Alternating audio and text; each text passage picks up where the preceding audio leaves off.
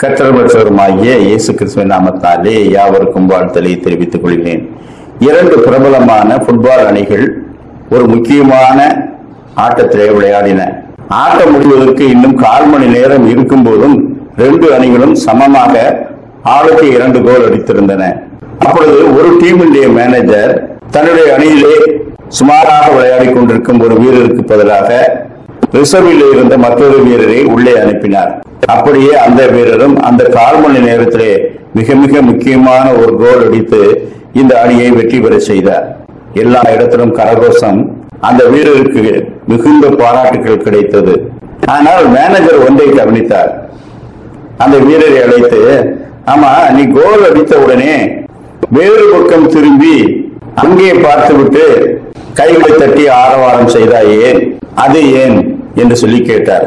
அப்பொழுதுதான் இவர் சொன்னார் ஐயா நீங்கள் திடீரென்று என்னை உள்ளே அனுப்பும் போது நான் என்னுடைய கான்டாக்ட் லென்ஸ் என்று சொல்லப்படுகிற கண் கண்ணாடியை அணிய மறந்து விட்டேன்.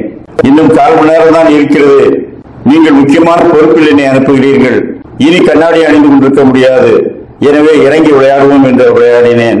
தூரத்திலே பந்து போகும்போது அது குறிப்பாக எங்கே போகிறது என்பதை என்னால் காண முடியாது. அப்படித்தான் நான் கோல் அடிக்கும் போதும் அந்த கோல் போஸ்டை ஒட்டி எனது பந்து உள்ளே சென்றது என்று சொன்னார்கள்.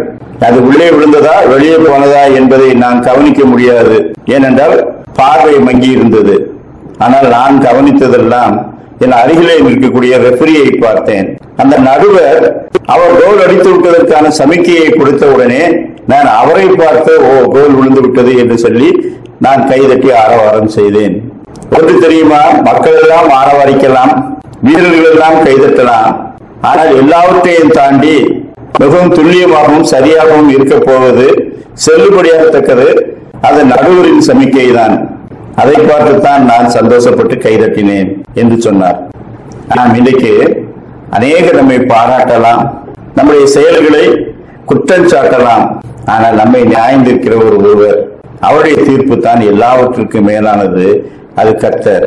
நாம் கர்த்தருடைய பார்வையிலே நாம் என்ன செய்து கொண்டிருக்கிறோம் என்ன செய்தோம்?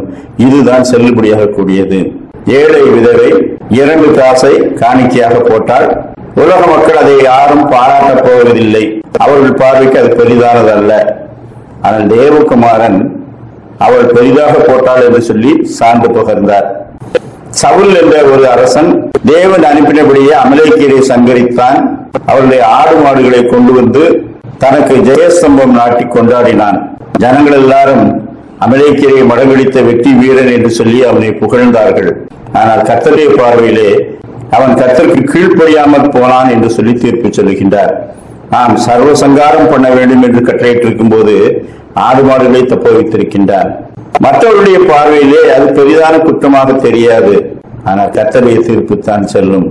ரெண்டு குந்திய பத்தாம் அதிகாரம் பதினெட்டாம் வசனம் தன்னைத்தான் புகழ்கிறவன் உத்தமன் அல்ல கத்தரால் புகழப்படுகிறவனே உத்தமன்.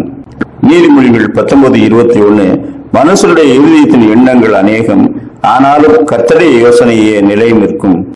ஆஹ் மனுஷருடைய தீர்ப்புகள் செல்லத்தக்கவைகள் அல்ல கத்தடைய தீர்ப்பு ஒன்றே செல்லத்தக்கது. அவர் நியாயமும் சத்தியமும் உள்ள தெய்வம். அவருக்கு முன்பாக நாம் குற்றமற்றவர்களாய் காணப்படுவோம். அதற்கேற்றவர்களை செய்வோம். கத்தர்தாமே அப்படிப்பட்ட நல்ல சிந்தனைகளை இந்த நாளிலும் நமக்கு தந்தருள்வாராக. ஆமேன்.